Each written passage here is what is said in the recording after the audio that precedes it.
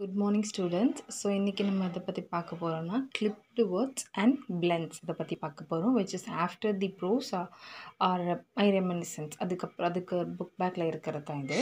So clipped words what is mean by clipped words it is a reduction of a word so ஒரு complete வேர்டில் இருந்து ஒரு சில words remove பண்ணிவிட்டு அதுலேருந்து ரெ ரெடியூஸ் பண்ணி கிடைக்கிற ஒரு short coming short form word அப்படின்னு கூட சொல்லலாம். ஸோ அதுதான் ஃபார் எக்ஸாம்பிள் அட்வர்டைஸ்மெண்ட் இது எப்படி சொல்லலாம்னா ஆடு ஸோ நம்ம அட்வர்டைஸ்மெண்ட் அட்வர்டைஸ்மெண்ட் அப்படின்னு நான் சொல்கிற ஃபுல் ஃபார்மில் நோ ஆடு நம்ம ஒரு இன்றைக்கி அந்த ஆட் நல்லா இருந்துச்சு.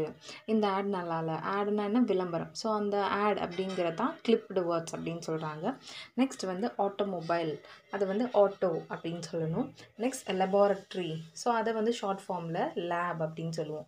ஸோ இந்த மாதிரி ஒரு ஃபுல் ஃபார்ம் வேர்டை வந்து ஷார்ட் பண்ணி ரெடியூஸ் பண்ணி சொல்கிறது தான் கிளிப்டு வேர்ட்ஸ் ஓகேயா and then blends. Blend is nothing but formed from two words, formed from two words or maybe two or more other words.